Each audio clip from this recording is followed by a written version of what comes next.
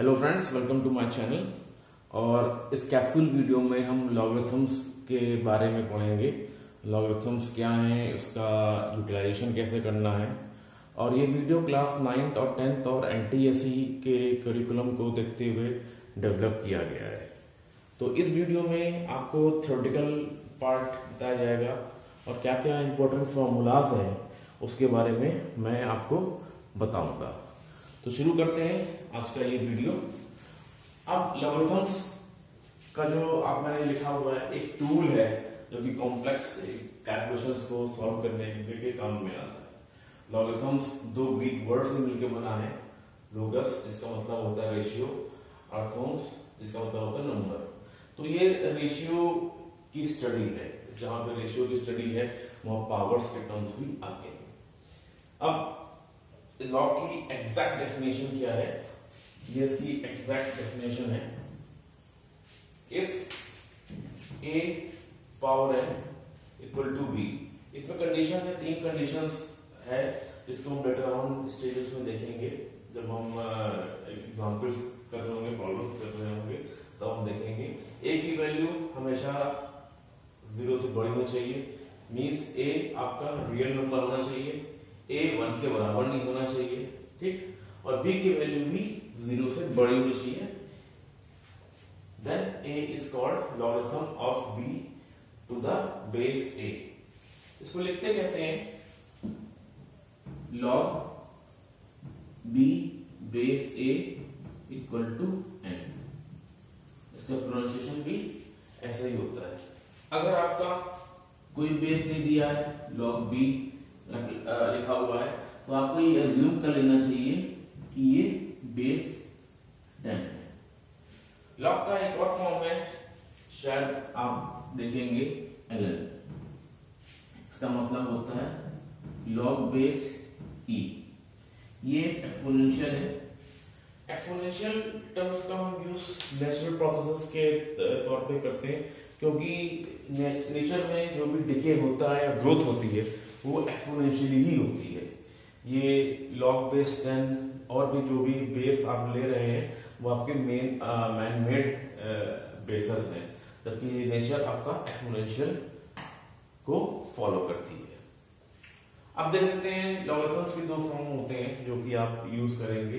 पहला का फॉर्म है लॉगरिथम अब आप यहाँ पे इस मैथमेटिकल अगर फॉर्मूले को आप देखेंगे तो लिखा गया है log b base a equal to n यहाँ पे ए बेस है एन पावर है बी नंबर है।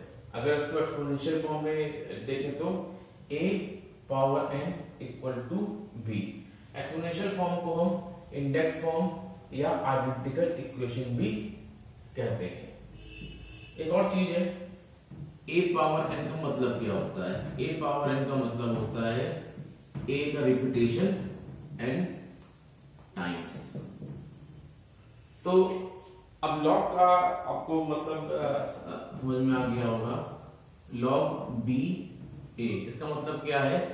बी में ए का रिपीटेशन कितनी बार हो रहा है? तो इसको हम लॉग से रिप्रेजेंट करते हैं। अब लॉग की डिफरेंट डिफरेंट प्रॉपर्टीज़ हैं, उसके बारे में हम देख लेते हैं। ये प्रॉपर्टीज़ आपके क्लास नाइन टेंथ और एमटीएससी के एग्ज़ाम में इतनी प्रॉपर्टीज़ यूज़ होंगी प्रॉब्लम्स को सॉल्व करने के लिए इतनी प्रॉपर्टीज़ को मैं कवर करूँगा। और इसके नेक्स्ट वीडियोस में कुछ प्रॉब्लम्स पे हम डिस्कशन करेंगे।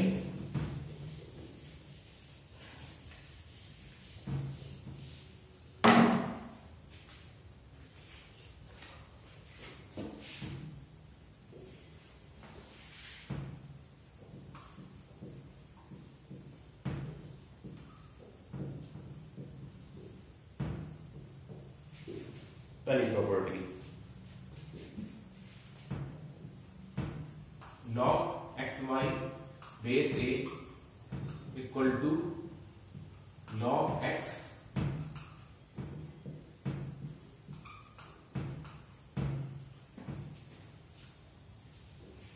दूसरी property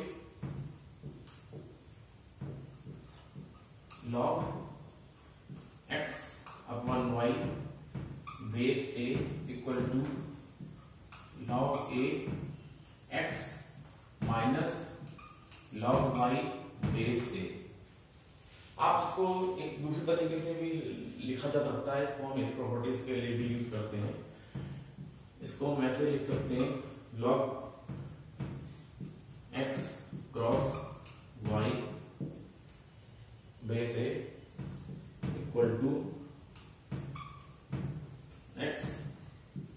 प्लस वाई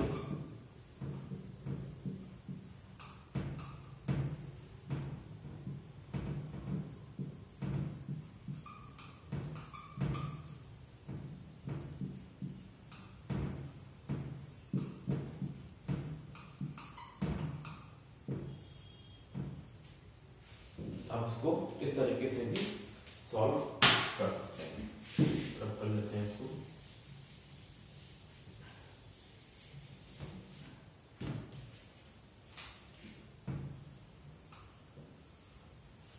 तीसरी प्रॉपर्टी है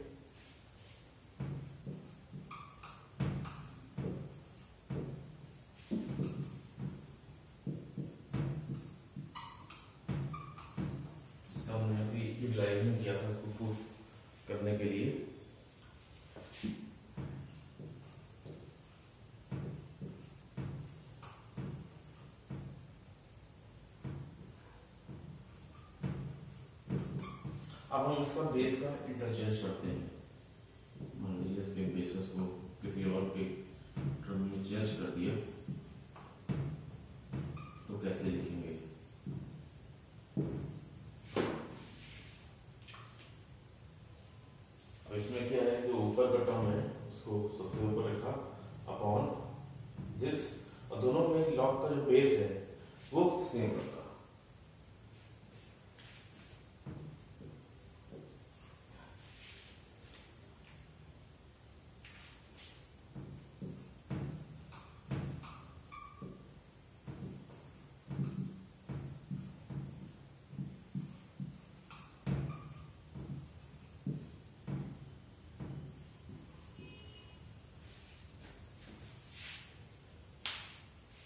इस तरह भी आपको मिलेगा प्रॉब्लम तो आपको ऐसे यूज़ करना है प्रॉपर्टी को डायरेक्टली यूटिलाइजेशन करना है। अगर हमें बेस और नंबर को इंटरचेंज करना है तो हम इस मैथमेटिकल फॉर्मूले से इंटरचेंज कर सकते हैं। Now next one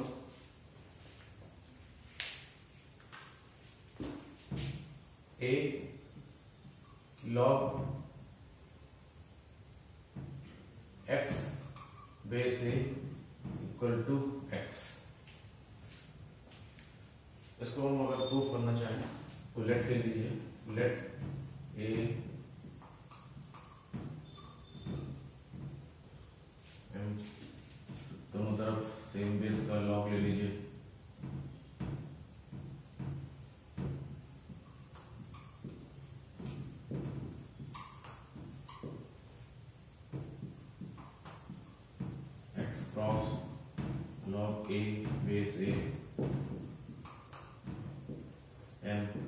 आपका वन हो जाएगा, आपका बचेगा, ये।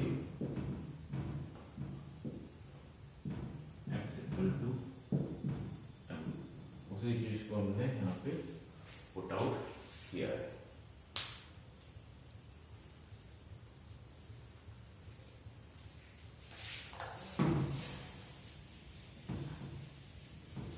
ये प्रॉपर्टीज़ है जिसका आप डायरेक्टली यूज़ होता है।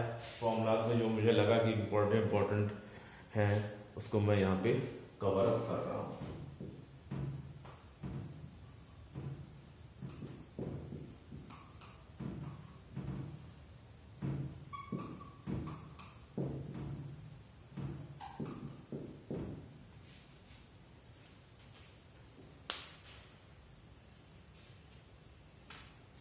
और अगर कुछ ना दिया हो, जैसे आपका लॉक जो मैंने बताया ए दिया है तो आपको एज्यूम कर लेना चाहिए इट इज़ बेस तो ये कुछ इंपॉर्टेंट प्रॉपर्टीज़ या फॉर्मूला करिए एप्लीकेशन करिए ये लॉक्स के हैं, जो कि आप प्रॉब्लम के सॉल्विंग में आप इनका डायरेक्टली यूज़ कर सकते हैं। तो नेक्स्ट वीडियो में देखेंगे कि इन प्रॉपर्टीज़ का यूज़ करके हम कैसे लॉक्स की प्रॉब्लम को सॉल्व करते हैं। अगर आपको ये वीडियो पसंद आया तो उसको लाइक करिएगा शेयर करिएगा, और इस चैनल को ऐसे ही इंफॉर्मेशन या के लिए आप इस चैनल को सब्सक्राइब कर सकते हैं। Thank you